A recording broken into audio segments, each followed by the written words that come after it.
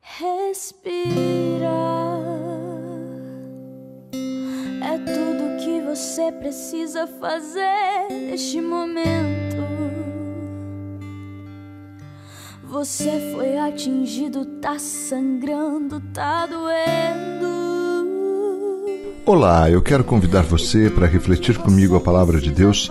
No primeiro livro de Samuel, capítulo 30, versículo 6, a palavra de Deus diz: Mas o Senhor seu Deus lhe deu coragem. Samuel havia ungido Davi como futuro rei de Israel. Ele substituiria Saul. Davi era um homem sensível, um músico, um poeta.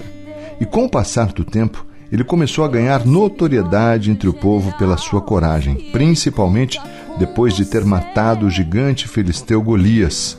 As mulheres cantavam: Saul matou mil, Davi matou dez mil, como está em 1 Samuel 18, versículo 7, apenas a parte B. Sabe, Saul não gostou disso e passou então a remoer um ciúme doentio de Davi. Dali em diante, vários acontecimentos passaram a ocorrer em sua vida. Saul o perseguiu implacavelmente e tentou matá-lo por duas vezes. Então ele e seus soldados fugiram para a terra dos filisteus.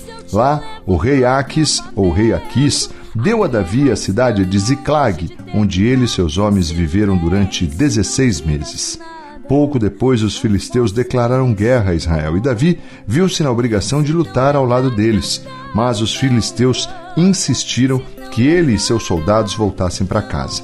Quando chegaram a Ziclag, todos tiveram um choque imenso. A cidade estava destruída, as mulheres e as crianças haviam sido raptadas e escravizadas pelos Amalequitas. Passado o choque, o desespero e a revolta, o Senhor Deus lhe deu coragem, como está em 1 Samuel 30, versículo 6, a parte B. O Senhor fez uma nova promessa a Davi. Esposas, filhos e bens foram recuperados. Saul morreu na batalha e Davi foi coroado como novo rei de Judá. O que aconteceu a Davi faz um paralelo com o que Deus está fazendo nas nossas vidas.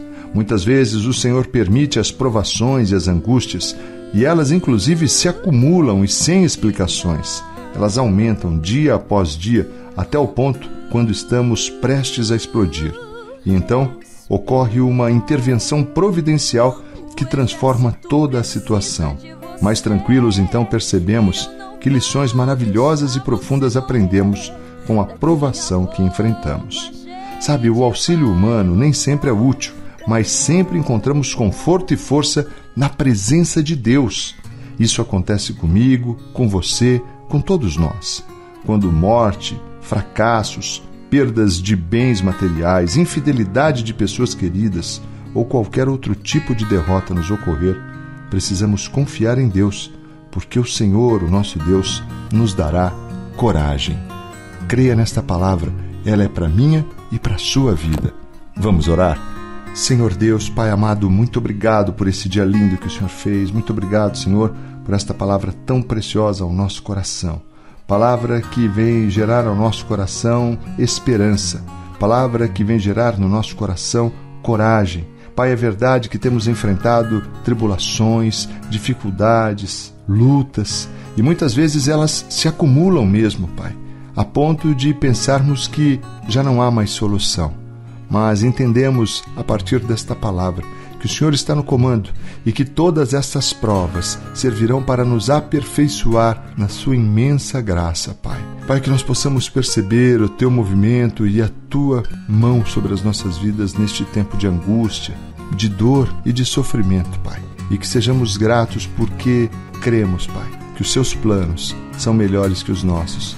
Nós oramos agradecidos, Pai, neste tempo, com o coração encorajado no nome que é sobre todo nome, o nome de Jesus. Amém e amém. Graças a Deus. Agora precisamos muito da sua ajuda. Não esqueça de curtir o vídeo e compartilhar, amém?